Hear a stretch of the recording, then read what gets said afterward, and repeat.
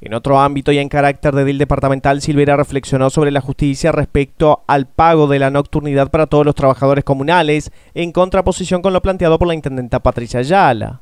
Fue un espaldarazo muy importante de la Junta Departamental a esa idea que habíamos propuesto de la nocturnidad para todos los funcionarios municipales que trabajen en el horario de 22 a 6, en las horas efectivamente trabajadas en ese horario, porque la primera iniciativa habíamos conseguido 13 votos con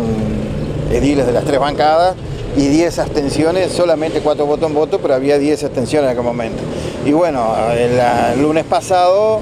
eh, lo bueno es que esa iniciativa tuvo 25 ediles eh, votando afirmativamente,